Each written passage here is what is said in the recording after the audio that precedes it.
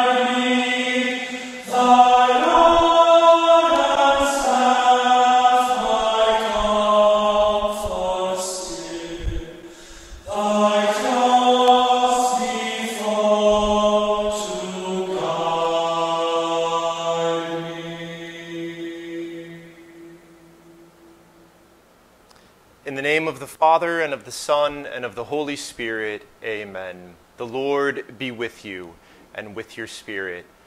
Brothers and sisters, let us acknowledge our sins and so prepare ourselves to celebrate the sacred mysteries. You were sent to heal the contrite of heart. Lord, have mercy. Lord, have mercy. You came to call sinners. Christ, have mercy. Christ, have mercy. You are seated at the right hand of the Father to intercede for us. Lord, have mercy. Lord, have mercy. And may Almighty God have mercy on us, forgive us our sins, and bring us to everlasting life. Amen. Let us pray. O God, who for the glory of your name and the salvation of souls bestowed on the priest St. Lawrence of Brindisi a spirit of counsel and fortitude, grant, we pray, that in the same spirit we may know what must be done, and through his intercession bring it to completion. Through our Lord Jesus Christ, your Son, who lives and reigns with you in the unity of the Holy Spirit, one God forever and ever. Amen.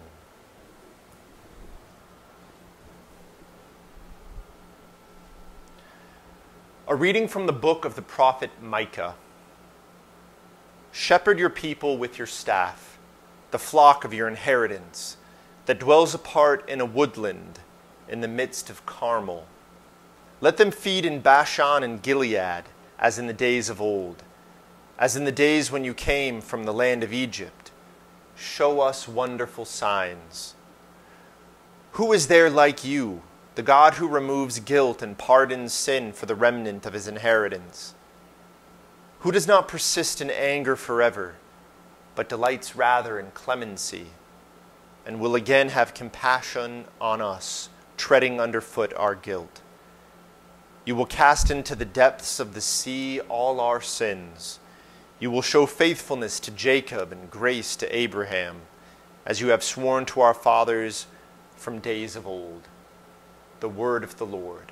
Thanks be to God. Lord, show us your mercy and love. Lord, show us your mercy and love. You have favored, O Lord, your land, and have brought back the captives of Jacob. You have forgiven the guilt of your people. You have covered all their sins. You have withdrawn all your wrath. You have revoked your burning anger. Lord, show us your mercy and love. Restore us, O God, our Savior, and abandon your displeasure against us. Will you be angry with us, prolonging your anger to all generations? Lord, show us your mercy and love. Will you not instead give us life? And shall not your people rejoice in you? Show us, O Lord, your kindness, and grant us your salvation. Lord, show us your mercy and love.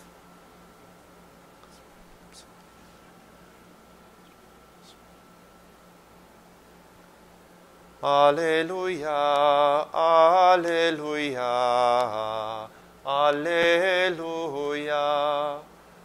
Alleluia, Alleluia, Alleluia. Whoever loves me will keep my word, and my Father will love him, and we will come to him. Alleluia, Alleluia, Alleluia. The Lord be with you and with your spirit. A reading from the Holy Gospel according to Matthew. Glory to you, O Lord. While Jesus was speaking to the crowds, his mother and his brothers appeared outside, wishing to speak with him. Someone told him, Your mother and your brothers are standing outside, asking to speak with you. But he said in reply to the one who told him, Who is my mother? Who are my brothers? And stretching out his hands toward his disciples, he said, Here are my mother and my brothers. For whoever does the will of my heavenly Father is my brother and sister and mother. The Gospel of the Lord. Praise to you, Lord Jesus Christ.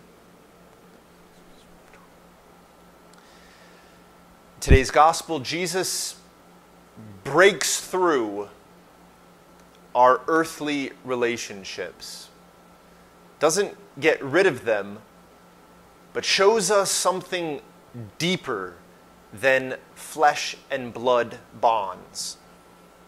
His mother and his brothers come to where he's preaching. His mother, we know, Mary. His brothers, in Greek, the same word is used for cousins. So, most likely, these were close blood relatives. We know he had, Mary had one child, Jesus.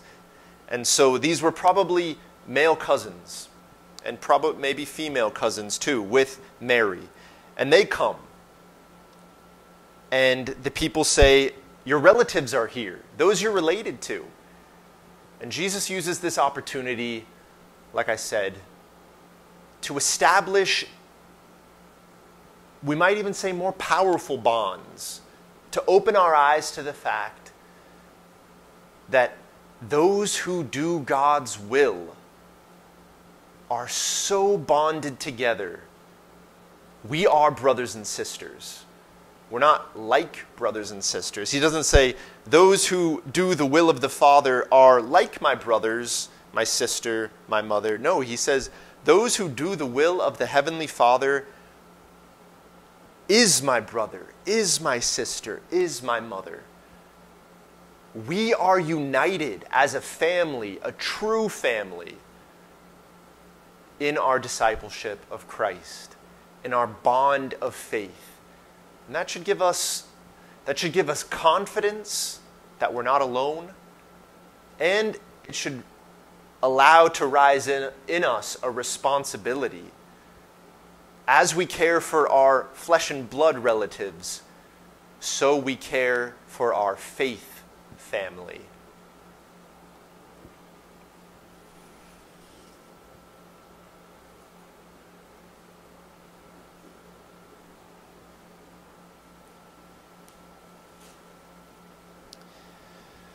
We come together in faith and love to place before God our prayers and petitions. For our Holy Father, Pope Francis, may the Lord look graciously upon him. Let us pray to the Lord. Lord, hear our prayer. For our elected officials, may God's compassion and justice guide them in serving those they represent. Let us pray to the Lord. Lord, hear our prayer. For those who find themselves unemployed or underemployed, May the Lord help them find work to support their families. Let us pray to the Lord. For all of us gathered here, may the Lord keep us steadfast in faith and hope. Let us pray to the Lord. Lord, hear our prayer. For our faithful departed, and today's Mass is offered for Sean Kenny. May they soon rest in the loving arms of Jesus. Let us pray to the Lord. Lord, hear our prayer. Heavenly Father, in your mercy, hear and answer the prayers we offer through your Son, our Lord Jesus Christ. Amen.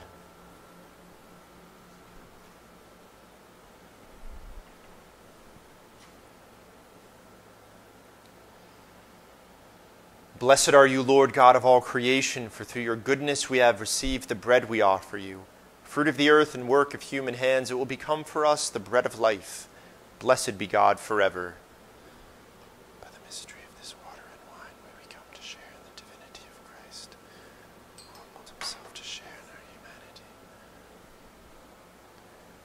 Blessed are you, Lord God of all creation, for through your goodness we have received the wine we offer you.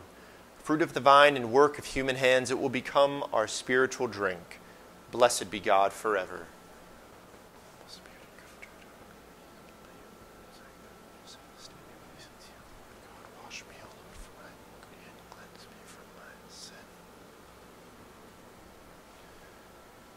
Pray, brothers and sisters, that my sacrifice and yours may be acceptable to God the Almighty Father. May the Lord accept the sacrifice at your hands for the praise and the glory of his name, for our good and the good of all his holy church.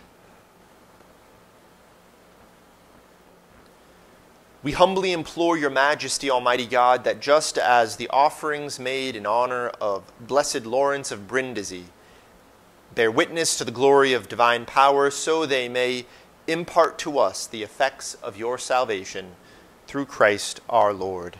Amen. The Lord be with you and with your spirit. Lift up your hearts. We lift them up to the Lord. Let us give thanks to the Lord our God. It is right and just. It is truly right and just, our duty and our salvation, always and everywhere to give you thanks, Lord, Holy Father, Almighty and eternal God, through Christ our Lord. For as on the festival of St. Lawrence of Brindisi, you bid your church rejoice, so too you strengthen her by the example of his holy life, teach her by his words of preaching, and keep her safe in answer to his prayers. And so, with the company of angels and saints, we sing the hymn of your glory, as without end we acclaim Holy, holy, holy Lord God of hosts. Heaven and earth are full of your glory. Hosanna in the highest. Blessed is he who comes in the name of the Lord. Hosanna in the highest. You are indeed holy, O Lord, and all you have created rightly gives you praise. For through your Son, our Lord Jesus Christ, by the power and working of the Holy Spirit, you give life to all things and make them holy. And you never cease to gather a people to yourself, so that from the rising of the sun to its setting, a pure sacrifice may be offered to your name. Therefore, O Lord, we humbly implore you, by the same Spirit, graciously make holy these gifts we have brought to you for consecration, that they may become the body and blood of your Son, our Lord Jesus Christ, at whose command we celebrate these mysteries. For on the night he was betrayed, he himself took bread. And giving you thanks, he said the blessing, broke the bread, and gave it to his disciples, saying, Take this, all of you, and eat of it, for this is my body, which will be given up for you.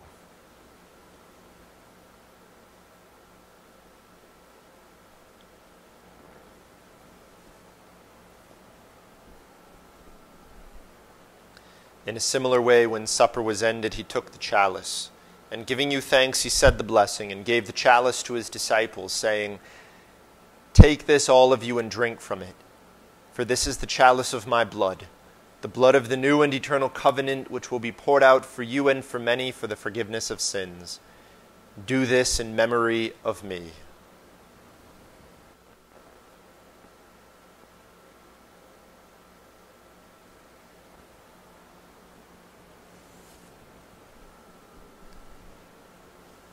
the mystery of faith. We proclaim your death, O Lord, and profess your resurrection until you come again.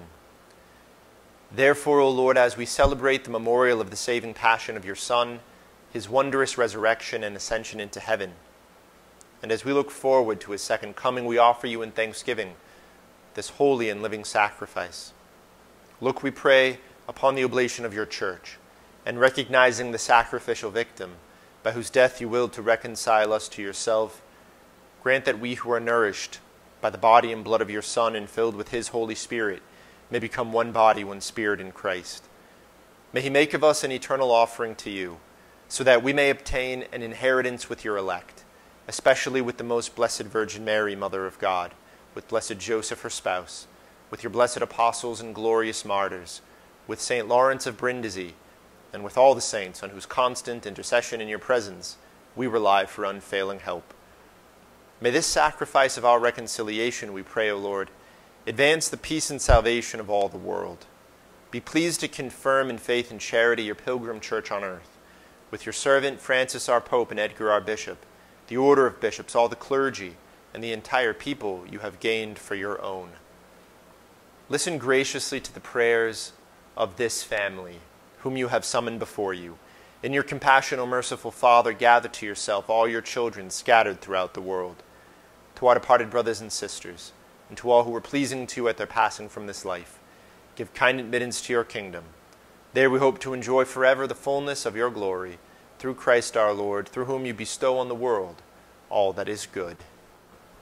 Through him, and with him, and in him, O God, Almighty Father, in the unity of the Holy Spirit, all glory and honor is yours forever and ever. Amen. At the Savior's command, informed by divine teaching, we dare to say, Our Father, who art in heaven, hallowed be thy name. Thy kingdom come, thy will be done, on earth as it is in heaven. Give us this day our daily bread, and forgive us our trespasses, as we forgive those who trespass against us and lead us not into temptation, but deliver us from evil. Deliver us, Lord, we pray, from every evil. Graciously grant peace in our days, that by the help of your mercy we may be always free from sin and safe from all distress, as we await the blessed hope and the coming of our Savior, Jesus Christ. For the kingdom and the power and the glory are yours, now and forever. Lord Jesus Christ, who said to your apostles, Peace I leave you, my peace I give you. Look not on our sins, but on the faith of your church, and graciously grant her peace and unity in accordance with your will, who live and reign forever and ever. Amen. The peace of the Lord be with you always, and with your spirit. Let us offer each other the sign of peace.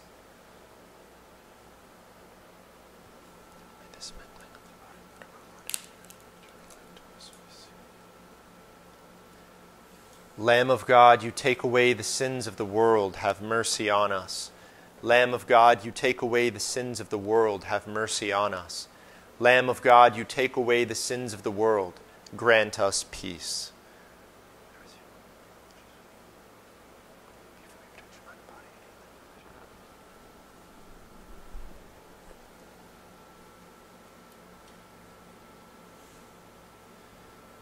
Behold the Lamb of God, behold him who takes away the sins of the world. Blessed are those called to the supper of the Lamb. Lord, I am not worthy that you should enter under my roof, but only say the word, and my soul shall be healed.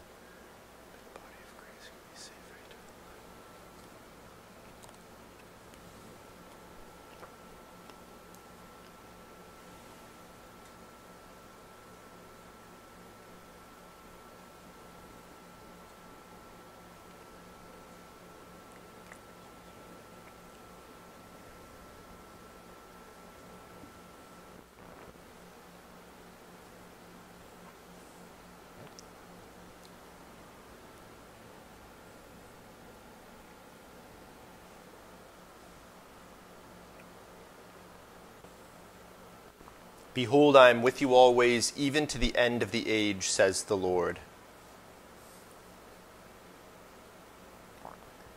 My Jesus, I believe that you are present in the most holy sacrament of the altar. I love you above all things, and I desire to receive you into my soul.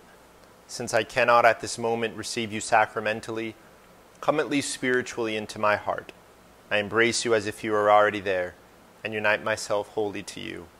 Never permit me to be separated from you. Let us pray. May the mysteries we have received, O Lord, prepare us, we pray, for the eternal joys that as a faithful steward, blessed Lawrence of Brindisi came to deserve. Through Christ our Lord. Amen. One announcement is that stay tuned for the rosary. I'm not sure if I'm available there is a question mark of a, an event, a virtual event at Feehan tomorrow, which may interfere with the rosary. I don't think it does. I think the Feehan event is later in the evening. It's a event with the freshman parents, a little video info session that I would like to be part of. Um, but I will know for sure tomorrow exactly the time. So tomorrow I will announce whether we're doing the rosary at 6 or not. And I hope everyone is enjoying these high days of summer and staying cool if possible. The Lord be with you and with your spirit. May Almighty God bless you, the Father, and the Son, and the Holy Spirit. Amen. Go forth, the Mass is ended. Thanks be to God.